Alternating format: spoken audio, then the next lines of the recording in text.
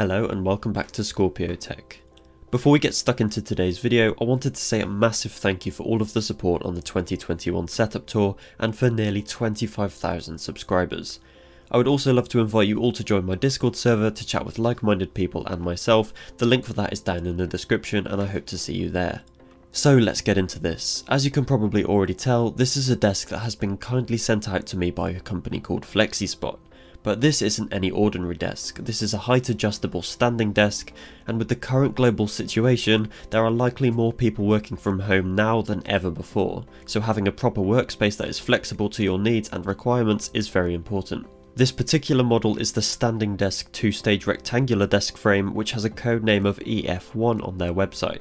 FlexiSpot also kindly sent out one of their mahogany curved desktops which measures 140cm by 70cm. You can also get their desktops in many other variations such as black, white, maple, grain and walnut, all of which are visible via the website that I've linked down in the description.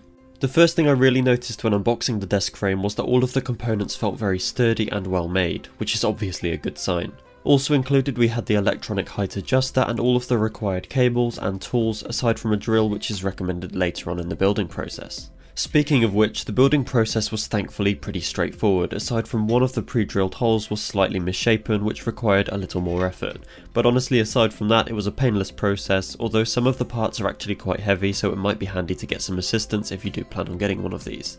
So whilst I run through some of the building process, I'm going to highlight some of the advantages and the disadvantages of a standing desk like this one. For the advantages, I'm not a medical expert by any means, but by finding a balance between sitting and standing throughout the day, it's obviously better for you than just sitting all day.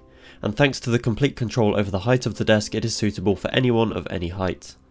According to some quick research as well, standing at your desk can lower the risk of weight gain, lower blood sugar levels and lower your risk of heart disease, and probably the most obvious of all, it's able to reduce back pain, because let's face it, sitting at the desk for 8 or more hours per day is really not ideal. As well as all of this, having a standing desk can apparently improve your mood and energy levels, as well as potentially increasing your productivity, although there is a lack of evidence in this area.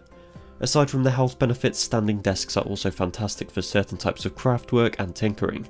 For example, this desk will be used by me for PC building projects and so on due to its versatility. So quickly taking a look at the disadvantages, there are some that come to mind which are practicality issues. For example, I personally love having drawers either side of my desk for quick access material, and it's not feasible with a standing desk. In addition to this, obviously this desk is powered and therefore you need to run and hide cables which isn't always easy with something that is height adjustable.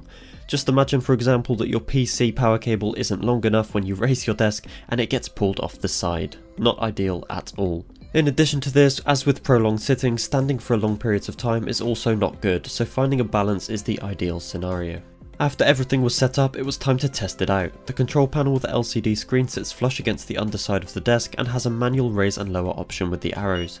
You can also create custom presets with numbers 1 to 4 to ensure that you get the perfect height quickly and easily. In regards to the specification of the desk, it has an adjustable height of between 71cm and 121cm, which is excluding the tabletop height. It has a lift speed of 2.5cm per second and a weight capacity of 70kg. Here's a short clip of the desk's mechanism in action so you get an idea of how it works and how it sounds.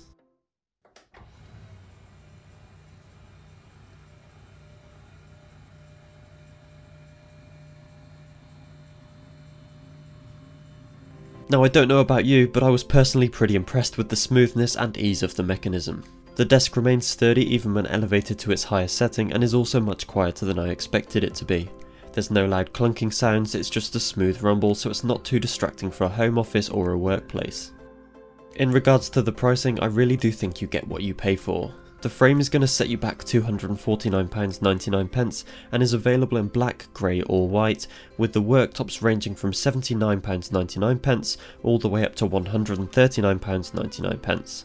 You can also use your own custom worktop in conjunction with the frame which can support desktop sizes from 100cm to 160cm wide and 50cm to 80cm deep.